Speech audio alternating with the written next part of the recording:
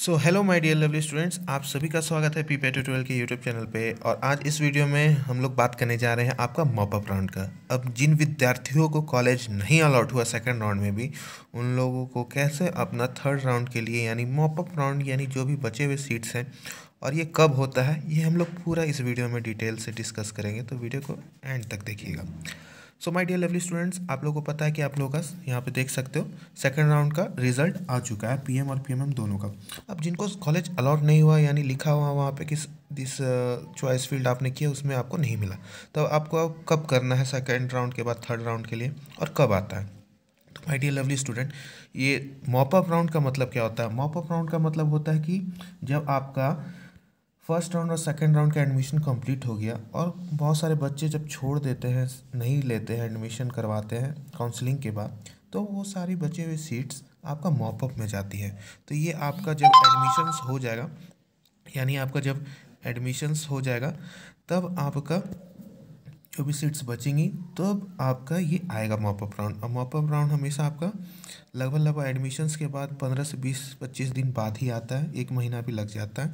तो एक महीना लग जाएगा आपको, अगर मॉपअप राउंड आने वाला रहेगा तब, ठीक है? तो मॉपअप राउंड आप जैसे देख सकते हो कि पी e यानी पॉलिटेक्निक वालों का होता है, ठीक है? तो सीट मैट्रिक्स उसका अलग से निकलता है, ठीक है? तो सीट मैट्रिक्स का जो भी बच जाता है सीट हर कॉलेज के साथ कौन सा कैटेगरी का सीट बच गया है, कौन सा बच्चा नहीं लिया देख सकते हो बहुत मात्रा में पॉलिटेक्निक में आपको ये सीट्स बचे हुए हैं। तो इसी प्रकार से आपका पहले सीट मैट्रिक्स आएगा फिर काउंसिलिंग आपको ऑनलाइन भर के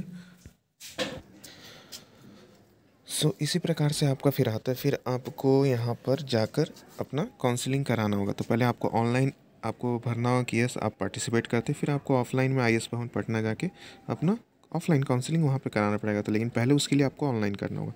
अब कब आएगा आपका काउंसलिंग? तो मान के चलिए, अगर काउंसलिंग की चांसेस होने की यहाँ पे संभावना नहीं के मात्र है, या नाइन्टी परसेंट चांस है कि नहीं होगा।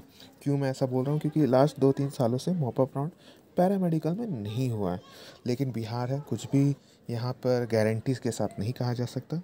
सबसे अच्छी बात ये है कि किसी चीज़ की यहाँ पे गारंटी नहीं है, सबसे बड़ी गारंटी है ये तो हो भी सकता है। इसलिए हम लोग भी कभी कभी आपका प्रडिक्शंस फेल हो जाते हैं, क्योंकि तब देखिए तीन साल से तो हो नहीं रहा, लेकिन हो सकता है इस साल हो जाए, ठीक है? तो आप लोग तैयारी अपना करते रहिए नेक्स्ट ईयर के लिए, क्योंकि नाइन्टी परसेंट चांसेस मेरे तरफ़ से है कि नहीं ही होगा, क्योंकि लास्ट दो तीन साल से मॉपअप नहीं हुआ है। अब आप लोग क्या करो, अपनी तैयारी को अच्छे से करो, और क्लोजिंग और ओपनिंग रैंक इस साल का आपका एडमिशन्स के बाद, यानी एक से डेढ़ महीना बाद ही आएगा कि कट ऑफ़ क्या गया तो कट ऑफ़ प्रॉपर आपको एक से डेढ़ महीना बाद आएगा। और जो बच्चे अभी भी वेट कर रहे थर्ड राउंड का, आप वेट करते रह जाओगे और 2023 का पैरामेडिकल का एग्ज़ाम आ जाएगा। तो तैयारी अपना शुरू कर दीजिए। अब यहाँ हमारे पी ट्यूटोरियल पर भी सात बजे से जल्दी क्लास स्टार्ट होगा।